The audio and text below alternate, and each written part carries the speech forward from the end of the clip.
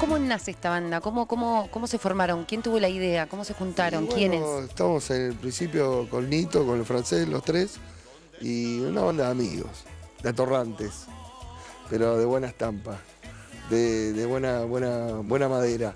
Ahí teníamos que hacer música y nos llama el primo, que es Jorge Serrano, que bueno, número uno, y, y después, bueno, aparecieron todos, de a poquito se fue sumando y armamos esta banda hermosa de amigos que, que, que todos son importantes los 12, eso sí siempre quiero recalcar.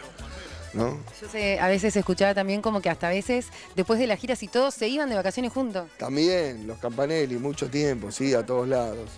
Ahora eh, cada vez nos vemos menos. Nada, mentira. Siempre estamos, vivimos más que con nuestra familia, así que imagínate, es una gran familia los decadentes. ¿Cuál es la primera canción que recordás con la que los decas empiezan a ser conocidos? Yo pienso que Raquel. ¿Sí? Sí, Raquel y la cantaron en, los estadios de fútbol y eso nos hizo muy grande. O sea, la cantaban las hinchadas y de repente eh, me contó un amigo, che, la cantan en la cancha, yo no lo podía creer, no teníamos ni disco, imagínate. De boca en boca era.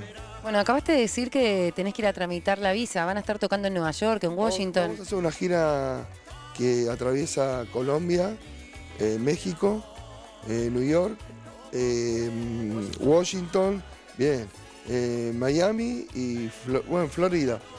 Así que bueno, va a estar buenísimo, sí, volver a Estados Unidos después de tanto tiempo.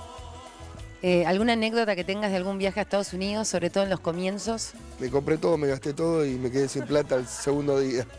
Eh, no, eh, y no, que fuimos plomos una vez, bajamos todos los instrumentos, porque no había nadie que nos ayude y recién empezamos eh, tocando en Estados Unidos, ¿no? O sea, era como volver de cero y acá éramos reconocidos. Y fuimos plomos asistentes nuestros, ahí todos cargando las cosas y la gente nos miraba y esto tan loco. Y tenemos que bajar los equipos. Eh, no, nada es raro. eh, anécdotas hay muchas, pero ahora no me acuerdo. Ya, ya alguna me voy a acordar. ¿Dónde está? ¿Cómo estuvieron los lunas? ¿Cómo lo vivieron? Bien, el Luna la verdad que es un clásico. Tocar en Buenos Aires nos encanta también. Mirá lo que te digo, en Buenos Aires como si fuera algo lejos. Pero como tocamos tanto afuera, eh, por suerte, ¿no? Eh, tocar en, eh, no- nos encanta en el Luna y ahora tenemos por, ganas de hacer el Movistar Arena. ¿no? En algún momento. ¿De este año? Show muy importante que quiero recalcar también que es el 360. Es un escenario giratorio que lo hicimos en México para 22.000 personas en Palacio de los Deportes.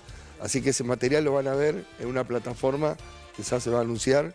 Y es en, en una cosa que se está preparando, hermosa, el festival, como, como si fuera una pista redonda, un círculo digo, y vamos cantando como las agujas del reloj moviéndonos. ¿Y eso tiene pensado? a toda la gente. Eso ya lo hicimos en México. Y ahora que hay que hacerlo acá. Y ahora hay que hacerlo acá. En el Movistar, seguramente. Morir. Eh, bueno, hace poquito nos cruzamos en los Gardel. Después de tantos años y tantos premios, ¿les gusta seguir estando eh, vigentes, eh, reconocidos, premiados? Sí, perder me gusta más que nada. Nada, está bueno, está bueno. Los, los- los premios siempre son un- unos mimos, una caricia y, y aparte estar ahí en la fiesta, más que nada es llegar y estar en la alfombra roja esa que te- nos encontramos con los periodistas y charlamos y nos encontramos todos los músicos, la camaradería y bueno, estuvo bueno, muy lindo. Cucho, un placer charlar con vos. Gracias por tu tiempo. Gracias, gracias, a quiero ahí. Aguante, quiero. Cucho, pasó por Q Noticias.